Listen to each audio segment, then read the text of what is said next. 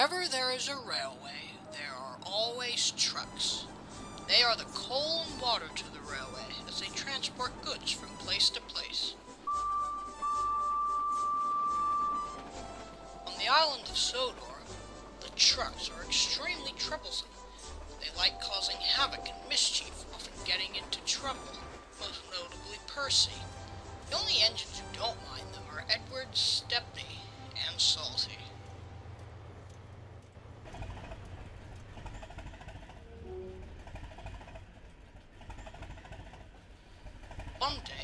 Boko was shunting some trucks when he spotted a tanker he had never seen before. The tanker eyed him suspiciously. Boko felt uneasy. Um, hello. Well, a good morning to you too. Why don't you just piss off? I do beg your pardon. You are by no doubt the most horrid truck I've ever met. Where are your manners? Go boy your face, you big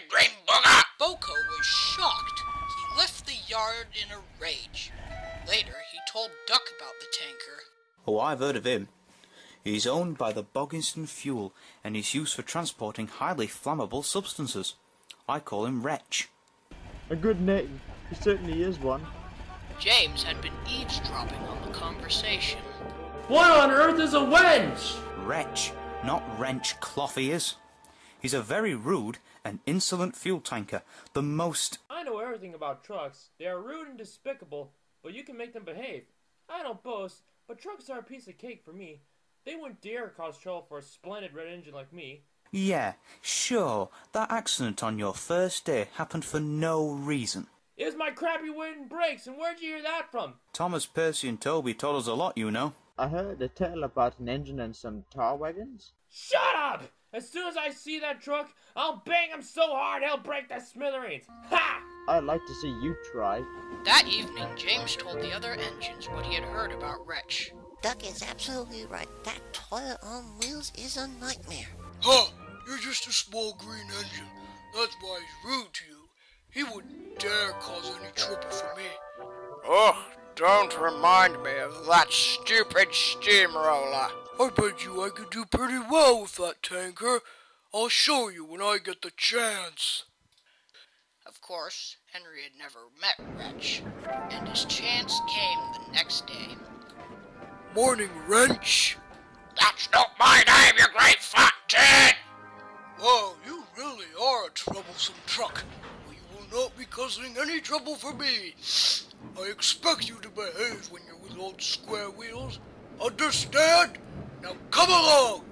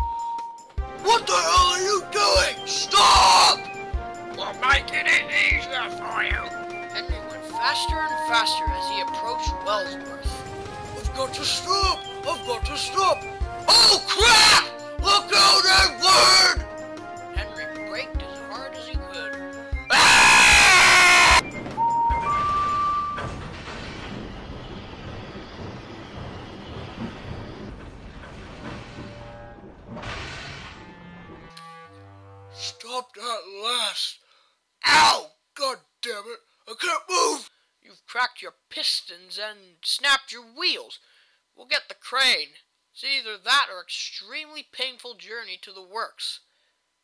You probably broke him while you were braking. James came by with the breakdown train and the fat controller on board. Well, well, well, Henry. You said you could control cars, yet they'd make you look absolutely disgraceful. You are despicable! Quiet! Edward, since you're capable of handling trucks, you should take them to the harbor. Boko will take your passengers. When Edward finally came back to the shed, he was exhausted. James found it all a great joke. First Henry, then Edward? My, green and blue must be very bad colors for an engine. I'm red, you see, and Oh, for God's sake, shut up! I'd rather not. I'm a splendid engine, and I know everything. You're just a fat, pompous blue sausage. Ha! A noisy argument erupted between all the engines. Ugh, I can't stand this! Quiet! If James thinks he can pull that dirty old tanker, then he'll show us tomorrow, eh? Ha! I'll show you how to handle that dirty old tanker. Next morning, James hurried to collect his train. Now, now, we want a proper engine, not a red dingbat! Dingbat, eh? We'll see about that. We won't go, we won't go! No, we won't! No, we won't! No,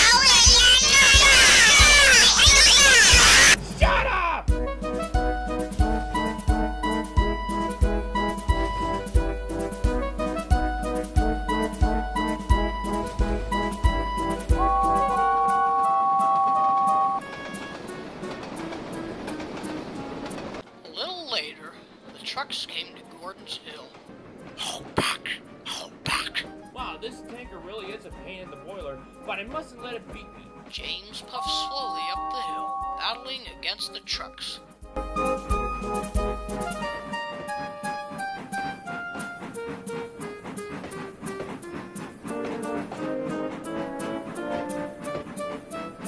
He was almost at the top when Wretch snapped the coupling. We're free!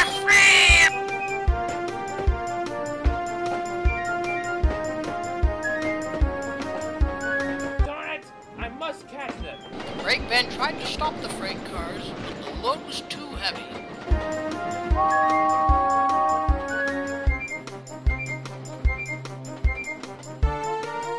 Runaway Railsworth and rolled on. I can go faster than this. Yes, I'm getting on them. Almost there.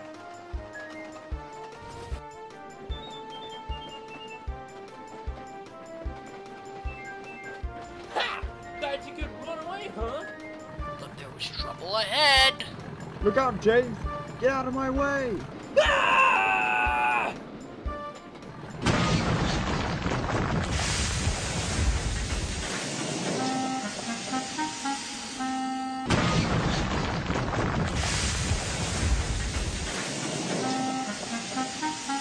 Whoops! Sorry, Boko. It's fine. Just get the breakdown train. The fat controller came to inspect the damage. If that tanker sprung a leak, any spark could have caused a big bang. Many people could have easily died. I'm sorry, sir. None of this was your fault, James. It was those stupid trucks. It was mostly that tanker, sir. That's it! I've had it with that silly ass truck! Duck, as soon as you get him back on the rails, take him to the harbour and dump him in the sea. You can't do that! I'm private! And if the owner asks, tell him he was destroyed in the crash. After the incident, James stopped boasting. The trucks were still troublesome, but James has learned how to control them, and they always behave when behind his tent. Even Gordon was impressed, but often teased him. James always ignored him and thought he was very silly indeed.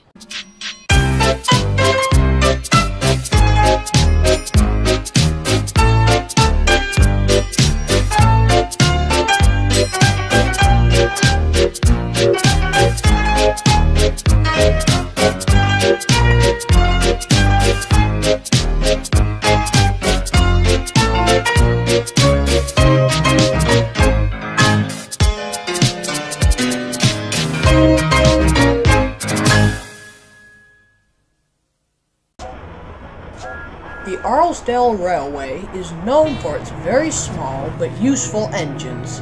It is a huge tourist attraction and many flock to see the beautiful Arlesdale countryside. The engines were all very busy. Good God! I hate all this work. Quarry work as well as passengers? What is this, a production line or something? Oh, stop being an arse, Frank. You only work about five hours a day. We, on the other hand, work about ten. Stop arguing, all of you. It's a lovely day. Breakdown train coming through. Oh, for goodness sake, you don't have to talk at the same time. We wouldn't be identical if we didn't. Come on, Mike. Time to get your train ready. Well, it's about time.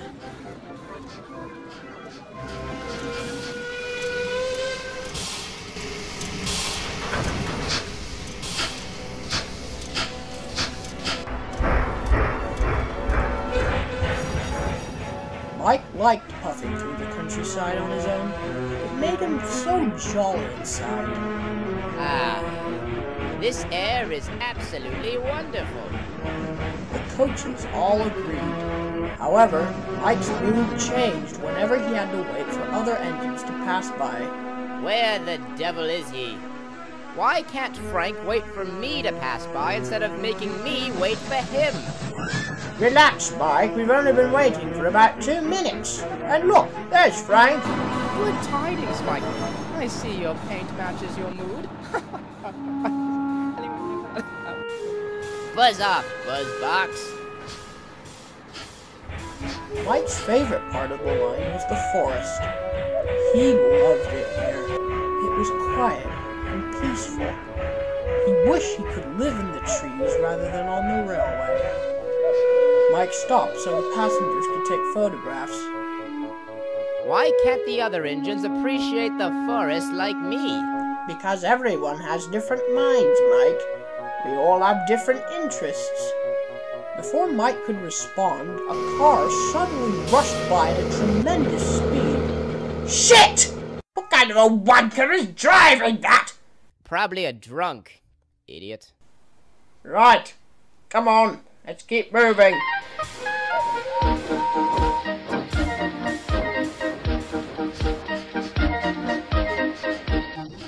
When Mike reached Arlesdale, the car had crashed, and the driver was being questioned by the police. Jock was idling on the turntable. What happened? Drunk driver came in about 80 miles per hour. What stupid things road vehicles are. They do have more freedom, though. They don't have to stick to the rails. They can simply roam wherever they like. I'd rather keep my rails. You always go where you're meant to go, and don't have as many accidents. But Mike was wondering what life on the road was like, and he talked about it with the other engines that night. Only a daft engine would actually try to travel by road. I'm not saying I'd actually try. I just thought being a car would be so much more efficient. You can go anywhere you like. Well, it's not worth trying, haha. Next morning, Mike was steaming up for his train when Duck came by with some ballast trucks. Morning, Mike. You look cheerful today. I am. Hey, Duck. Have you ever wanted to just fly off the rails and move gracefully down the road without a care? Um, I'm going to have to say no, Mike. Have you? I've been thinking that road travel is much more efficient than traveling by rail. Ballast is ready. I've always wondered what it's like. Bertie and Terence gave me an idea, but I want to experience it for myself. I wish I could ride on the road for once. Ride on the road? Are you daft? Mike, you make me chuckle. Shut up, Frank. Anyway, it's time to get my train ready. Well, Mike, um, don't do anything stupid. Mike was very busy that day and soon forgot all about his desire for road travel. He worked hard all day running to and from Arlesdale. Soon he was on his last run back to Arlesborough. Mike was always anxious to get home as soon as possible, as he didn't like traveling in the dark. He had bad experiences at night, including crashing into Frank while trying to find a farmer's lamb without a headlight. Come on, come on, we gotta get home before dark. Calm down, Mike. We'll get there soon and you can have a good night's sleep.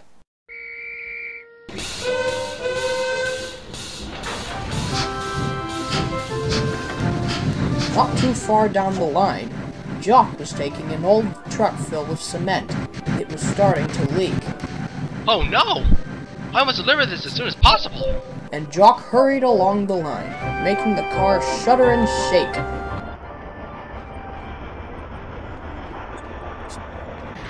Then, a huge dollop of wet cement poured onto the tracks. Jock didn't realize and kept on going. The wet cement eventually dried.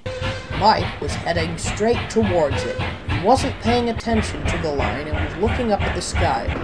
When he and his driver realized what was in front of them, it was too late.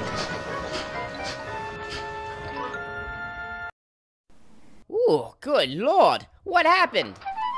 Some idiot left some shit on the tracks. I think it's cement. How the hell it got on the tracks, I have no idea. Great. Well, don't just stand there. Fetch some assistance. So the driver did. He ran to the nearest telephone box and called for the breakdown train. He came back soon. We've um, got a bit of a problem. There's more concrete on the tracks ahead, so the blisters can't come with the breakdown train until it's removed, which won't be until tomorrow. Blast it! I've got a train full of passengers. A bus will take them home. Well, how am I supposed to get home then? Unless we find another way, you're gonna have to stay put for the night. Oh dear, the road will have a rage tomorrow. Wait a minute! The road! We're only about 900 meters from Arlesborough. We could just have you puff along the road there. Are you serious? A train go on the road? This is outrageous stupidity. You want to stay here all night, then? And cause road traffic tomorrow? No, I'll do it. But just this once. The passengers helped push Mike onto the road. Mike was terrified. His wheels were wobbling violently. Uh, oh my Buddha, oh my Buddha, I don't like this at all. All right, Mike. Ready? Go! And he pulled the regulator. Mike slowly made his way towards Arlesborough. His wheels weren't used to not being on the rails, and it felt like they would break to pieces any moment. When he had to turn, the workman who had been following behind would lift him and put him in the right direction. Yikes! Damn it to hell in a handbasket! This is outrageously frightening!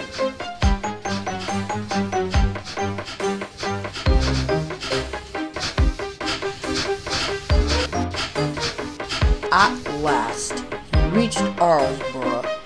Donald was there with the breakdown train, as a small railway wasn't accessible by road there. You're a brave wee engine! Thank you, Donald. Now please get me back on the rails. Soon Mike was back on the track.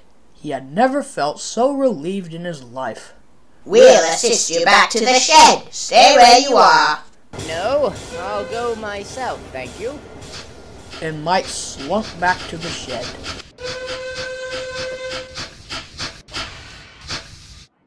I am terribly sorry, Mike. I should have gone slowly with the cement. Oh no, it wasn't your fault, Jock. Maybe you'll enjoy it next time. Mike ignored him. Lovely things, roads. Shut up, Bert. And Mike said no more that night. Let's just say his desire for road travel was at an end.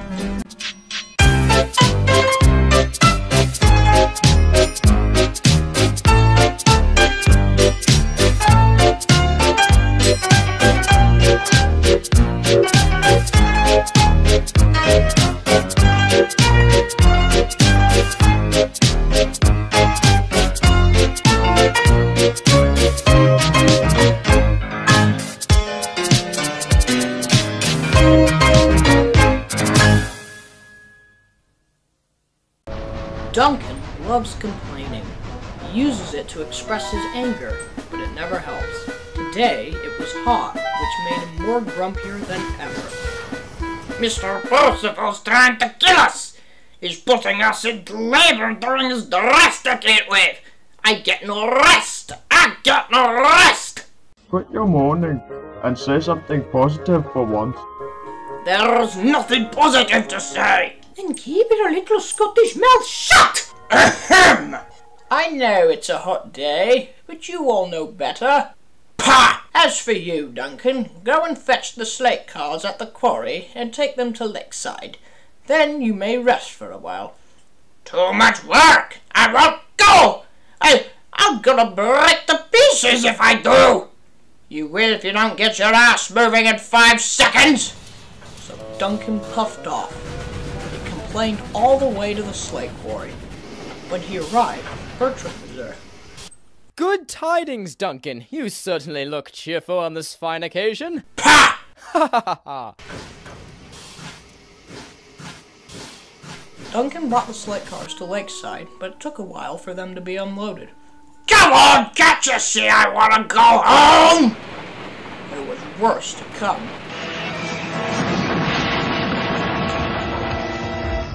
Ah! God damn it! What the hell was that for, Sir Handel?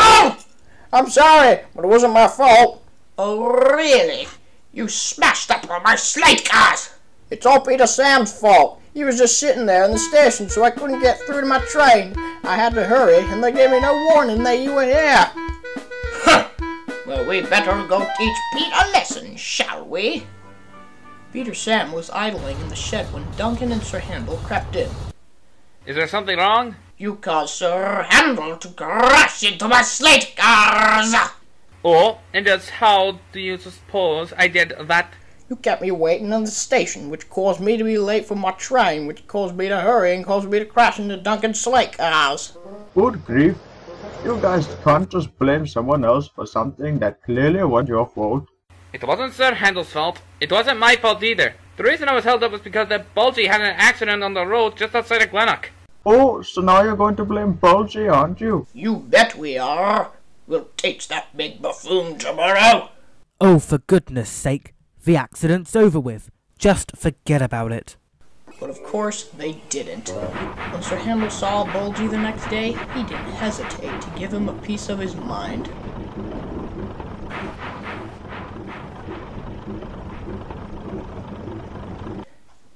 I have some things to pick with you. Yeah? You caused my accident. Bugger off! I don't know what you're talking about. You caused Peter Sam to be held up in the station, which caused me to be late, which caused me to hurry, which caused me to crash into Duncan's train, breaking his slate and injuring a walker. Bulgy thought for a minute. He knew the road accident was entirely his fault.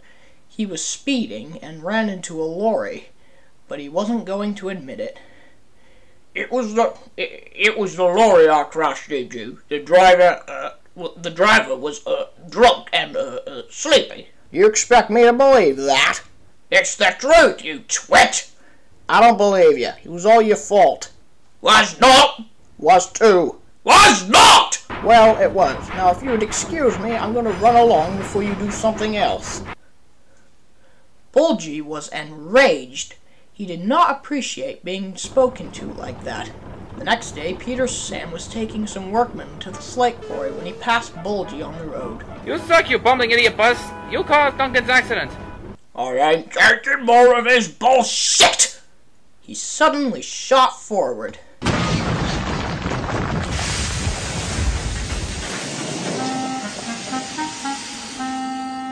Oh, crap. That's it! You're going down, boy! I'd like to see you try. Damn you, Bulgy! What the hell was the point of that? You are in so much trouble, boy. And he was. The police came to investigate. Be quiet, Bates. Goodness gracious, it's only been less than two days, yet the same bus gets involved in another accident on the same location. This wasn't an accident, officer. This was intentional road rage. Well put. Bulgy lost his temper and knocked Peter Sam off the rails. When Duncan and Sir Handel heard about the incident, they were furious. What makes them think he can just bash other engines like that? I'll teach that blithering idiot a jolly good lesson or two. And what would that accomplish? It would escalate the situation to disaster. Just let it be for God's sake. He's probably already gonna be removed from the road. He needs to feel the exact amount of pain he caused Peter Sam. They'll have to learn for themselves. Ah, shut up, Grandpa. Duke paid no attention. As the night went on, Duncan started to hate Bulgy even more. The next day, he came to Lakeside to pick up his passenger train when he saw Bulgy blocking a crossing. Not on my railway!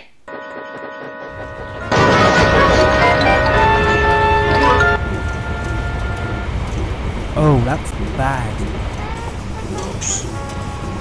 The shop's on fire! I'll call 999.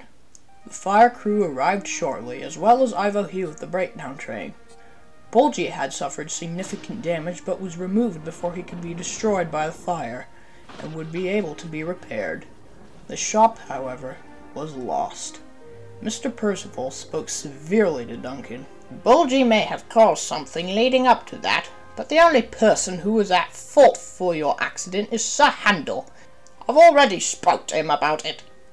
You, on the other hand, have damaged yourself, Bulgy, and the news shop, and you've sent a man to the hospital. Bulgy was already being dealt with for what he did to Peter Sam.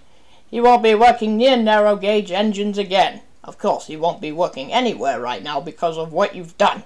Once you're repaired, you'll be working all day with Bertram at the slate quarry for two weeks. And you won't be allowed to leave the quarry. Duncan growled. There are many things you can change about Duncan, but his attitude towards extra work is not one of them.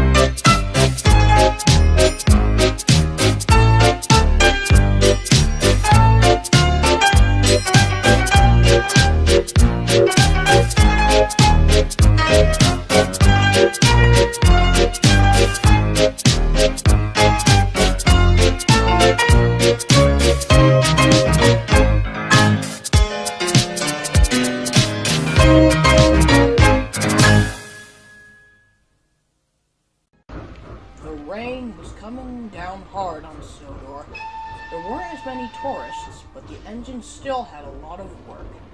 And they work rain or shine because they have cabs to keep their crew moving. Bill and Ben love the rain. The rails are wet and slippery, and they love gliding along them. They also love whooshing through puddles. Here's a big one. Look at George. Let's smash him. Ah! Damn you, Bill and Ben! They came into the harbor and found Henry idling. You better get to the shed, Henry, or you'll spoil your paint. What are you talking about? Once an engine attached to the train was afraid of a few drops of rain. It went into a tunnel, squeaked through its funnel, and wouldn't come out again. Useless little twits! The twins then went up to Nofa Quarry to tease Boko. Is there something up? How's your relationship with Daisy going? What? I saw you talking with her at Wellsford. Oh, for goodness sake. She kept talking to me about fashion and her swerves, which I had no interest in, so I pretended I was listening. You two come up with the wrongest ideas. Why don't you go sing in the rain? It's a lovely day. I've been in the rain enough today. I would like to stay dry for now. Oh, think we have a Henry in this shed. Quiet! Bill and Ben laughed and headed back to the China Clay Works. The next day was stormy with thunder and lightning. The wind was very strong and the engines felt miserable, except for Bill and Ben, who loved playing in the rain. Come on, Bill and Ben. We need to get the clay delivered to the docks before the storm gets worse. All right, all right. You obviously had no childhood. The docks were in total chaos. Trucks were everywhere. Edward and BoCo were sorting out the mess. Good grief. Talk about being organized, Edward. Bill and Ben, this is no time for being goofy. We are in the middle of a massive storm. This is a matter that must be taken seriously. Oh, it's about time you two arrived. Get those trucks to the siding before the storm blows them over. Hurry! Well, someone's enjoying the rain. BoCo is right. Get back to the China Clay Works before you get struck by lightning. Lightning? Oh my! Haha! Well, that did the trick. You're You're the workman. How does the Fat Controller expect us to work during this weather? I can't wait until the summer. Summer? Summer's too hot and tiring. It's spring that gets me fired up. Thomas told me about the time you really did get fired up with those fuel tankers. Good show, James. Shut up, Edward! What the blazes is that? That's the flood siren. A huge flood's coming! Get out of the docks! Get off the Brendam Peninsula! I ain't staying here. Oh no, the China Clay Works. Edward, got to get out of here. They'll be fine. No, they won't. There's workmen stationed there with Bill and Ben, and they probably don't even know the disaster is coming towards them. Uh, then I'll help you evacuate them. Just look at this rainbow. Isn't it beautiful? There's a flood coming. You must evacuate to Wellsworth as soon as possible. Oh dear, that's not good. You heard him! Evacuate! Quickly! Bill, Ben, get the trucks and the brake vans. Come on! Hurry, we haven't much time. The workmen all scrambled into vans, empty trucks, cabs, and brake vans. Soon, the evacuation process was ready to begin. So they thought.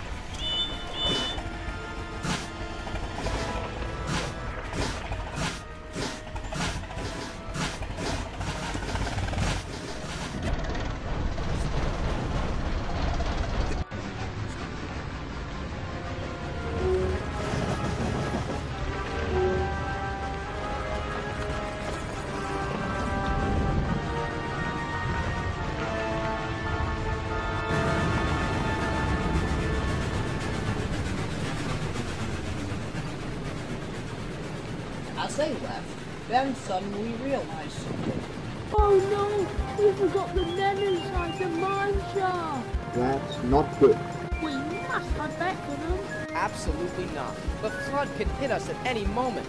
They are people and they have families. We must save them. It's not safe. Nothing's safe right now. Just let us go back and fetch them. You can take the rest of the train. All right, but be very, very quick and extremely careful. Bill and Ben hurried back to the China Clay Works and dashed into the mine. Found the workmen working away at the rock. the whole quarry's about to be flooded. You must come with us and evacuate. The workmen didn't hesitate and dropped their tools. They scrambled into Bill and Ben's cabs and the engines set off.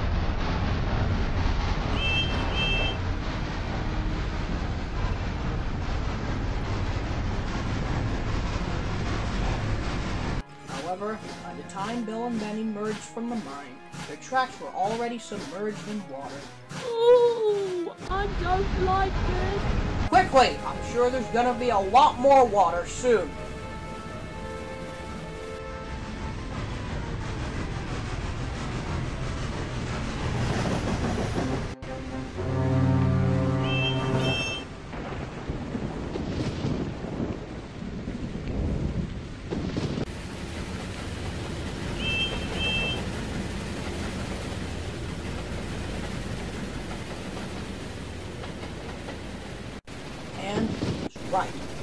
Made it away from the quarry just before a huge wave smashed into the rocks. There was over 10 feet of water.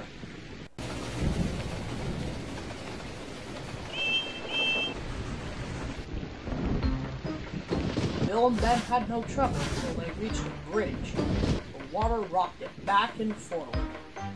We have to cross. It's the only way. Are you crazy? We'll end up like Toby, but worse. Oh, stop being a pussy and go! Ah, stop pushing me!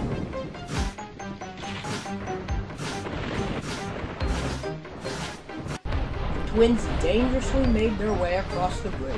It shook and swayed as the water tore at it. They were just in time. We made it! Hooray!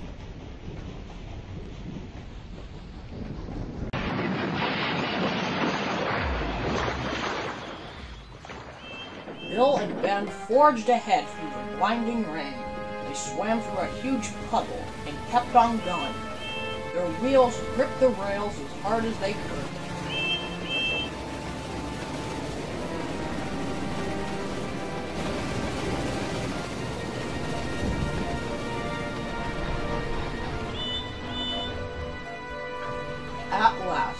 Two reached Wellsworth. The workmen all cheered. well done, Bill and Ben. You have saved the lives of four men. A fine effort indeed. I am very proud of you both. Exhausted, Bill and Ben could only smile. The flood had caused significant damage to Brendam, but the engines worked hard to repair it. The Fat Controller spoke to Bill and Ben. You are perhaps the bravest engines we have ever had on this railway. You risked your lives so four workmen could live longer. As a reward, we will place a plaque commemorating your bravery in your shed. Thank you, sir. And you may receive a major overhaul soon. What did it mean, sir? You'll be restored into a train's 2010 version like Edwin and Moto. You will have moving eyes and smoke will come out of your whistles. You will also have very shiny paint. Bill and Ben were so happy they didn't know what to say.